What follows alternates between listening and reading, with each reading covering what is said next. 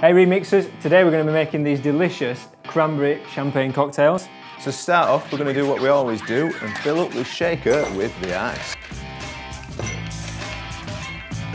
Okay, so the next step, we're going to put in a spoon of caster sugar. Next up, we're going to put in 200 mils of cranberry juice. Okay, so the next step is 50 mils of brandy. Next thing we're going to do, we're going to put the lid on the shaker shake it like it's an atomic bomb.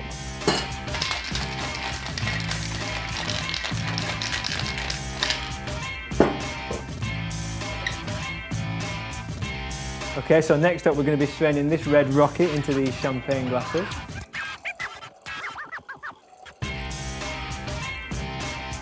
That's it. Next we're going to pop the cork and put the champagne in the glass.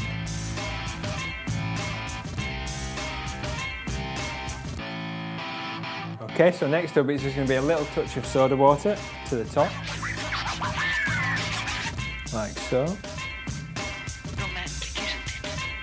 Take a little lime chunk, give it a squeeze and pop it in. There you have it. Okay then Tommy, so let's see how these taste. Remixers. Oh, that's proper right, good.